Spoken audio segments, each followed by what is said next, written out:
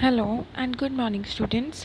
Welcome back to the online session class of social studies. So today we are going to start with a new chapter of history that is chapter number 5 Kingdom, Kings and Early Republic. Now I am going to start with election day. Shankran woke up to see his grandparents all ready to go and vote. They wanted to be the first to reach the polling booth. Why? Shankran wanted to know. Were they so excited? Somewhat impatiently, his grandfather explained, We can choose our own rulers today.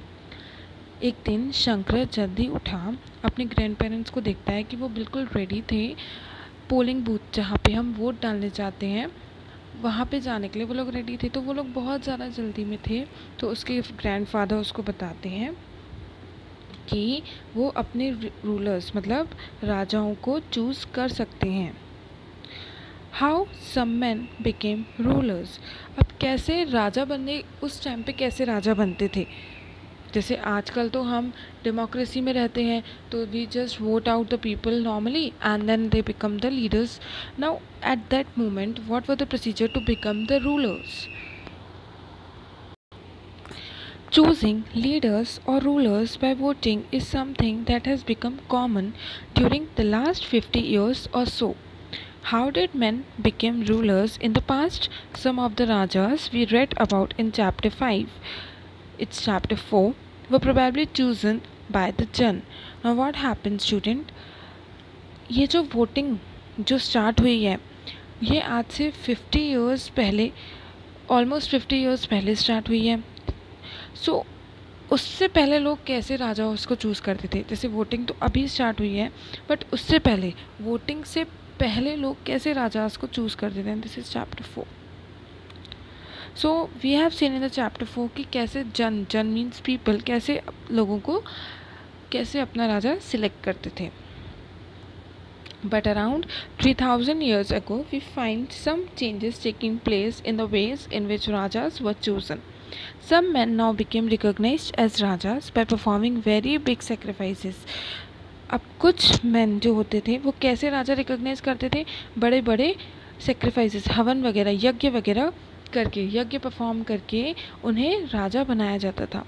The Ashvamedha or horse sacrifice was one such ritual underline this line the Ashvamedha or horse sacrifice was one such ritual a horse अब ये अश्वमेध क्या होता था? You all have listen this word Ashvamedha in Ramayana I hope a horse was let loose to wander freely and it was guarded by the raja's men if the horse wandered into the kingdoms of other rajas and this shop date they had to fight if they allowed the horse to pass it meant that they accepted that the raja who wanted to form the sacrifice was stronger than them क्या होता था? जैसे एक राजा है तो वो एक राजा अपने घोड़े को ऐसे फ्रीली वॉन्डर घूमने के लिए छोड़ देता था। नाउ अब वो राज, वो जो घोड़ा है, वो दौड़ रहा है। सपोज़ यहाँ पे दूसरे राजा का किंगडम है। तो अब ये घोड़ा अगर दौड़ते हुए यहाँ पे आ गया और इस राजा ने उस घोड़े को अगर रोक लिया तो इस वाले राजा और इन दोनों में लड़ाई होगी। और अगर सिंपली इस राजा ने घोड़े को यहाँ से अपने रीजन से पास आउट होने दिया तो इट मीन्स उनके बीच में लड़ाई नहीं होगी और ये राजा अपनी हार स्वीकार कर लेता था। लेकिन अगर इसने रोक लिया तो इन दोनों के बीच में लड़ाई होगी।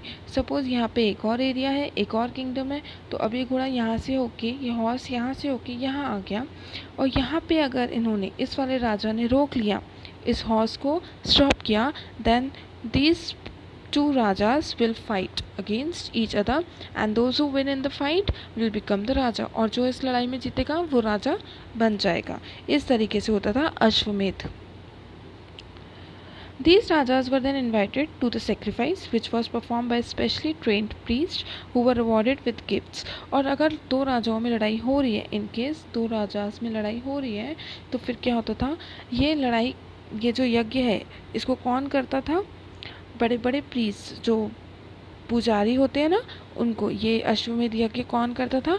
बड़े बड़े प्रीस्ट पंडित, जिनको राजा बहुत सारे गिफ्ट्स देता था। The raja who organize the sacrifice was recognize as being very powerful and all those who came bought gifts for him अब ये जो राजा ऑर्गेनाइज करता था यज्ञ, वो काफ़ी ज़्यादा पावरफुल माना जाता था। The raja was a central figure in these rituals कौन सेंट्रल फिगर होता था? मतलब कौन सबसे ज़्यादा इंपॉर्टेंट होता था इन सारे रिचुअल्स में? Raja. He often had a special special seat a throne और अ टाइगर स्किन उसके पास एक स्पेशल सीट होती थी जो किससे बनी होती थी? टाइगर की स्किन से. थ्रोन मीन्स एक गद्दी. जो राजा की सीट होती है ना, उसमें ऐसे एक गद्दी, वो टाइगर की स्किन से बनी होती थी। His charioteer, charioteer means Sarthi, his charioteer who was his companion in the battlefield and witnessed his exploits.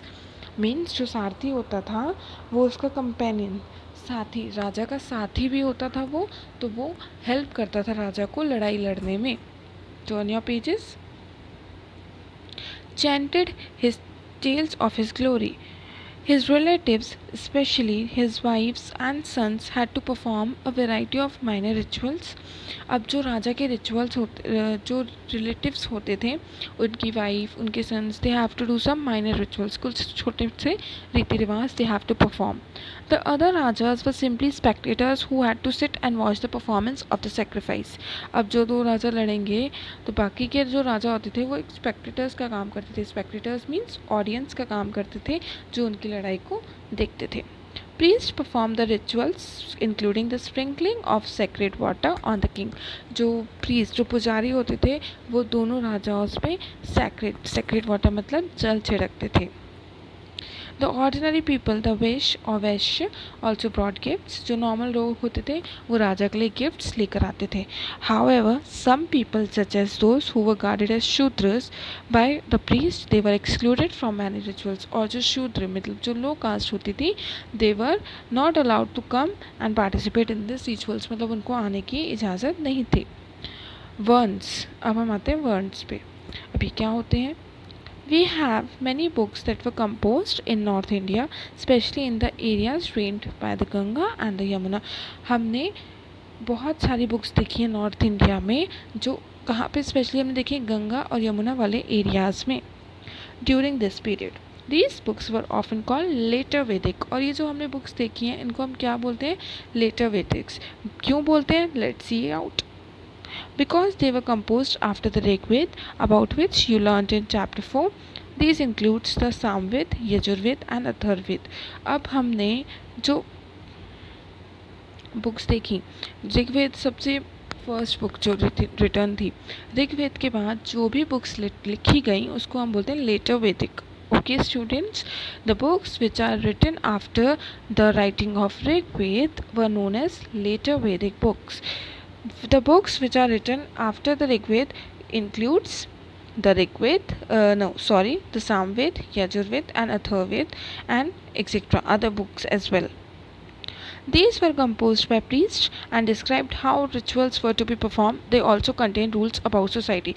अब ये बुक्स कौन लिखता था प्रीस्ट पुजारी और ये दिखाते थे उसमें कि क्या रीति रिवाज हैं उनके और कैसे रूल्स होने चाहिए सोसाइटी में there were several different groups in society at this time priest and warriors farmers herders अब उस टाइम पे सोसाइटी में अलग अलग ग्रुप्स थे। कौन कौन से ग्रुप्स थे? Priest warriors farmers herders traders ये सारे ग्रुप्स थे। Labourers fishing folk and forest people some priest and warriors were rich as were some farmers and traders others including many herders कुछ जो प्रीस्ट और जो योद्धा थे वॉरियर्स थे, वो रिच होते थे, जैसे कुछ फार्मर्स और व्यापारी भी रिच होते थे। Other include many herders craft person labourers fishing folk and hunter gatherers were poor ये सब लोग पुअर होते थे। कौन कौन से क्राफ्ट पर्सनस फिशिंग फोक जो मछली, मछुआरे होते हैं, ये सारे लोग पुअर कंसिडर किए जाते थे। The priest divide people into four groups अब जो पंडित थे, उन्होंने क्या किया?